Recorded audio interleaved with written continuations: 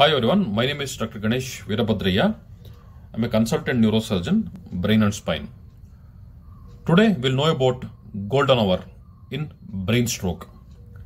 Golden hour for brain stroke is usually 7.2 hours for clot removal and for a clot busting agent or thrombolysis it is uh, 3.5 hours.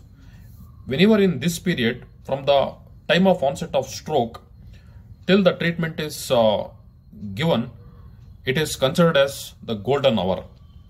In this period, golden hour, if the brain stroke is treated, usually it is ischemic stroke will tell, that is interruption of blood supply to the brain or part of the brain.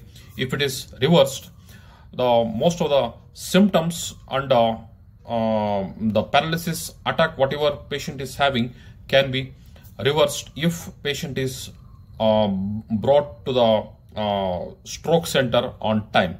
This period is called golden hour. Thank you for watching. Have a nice day.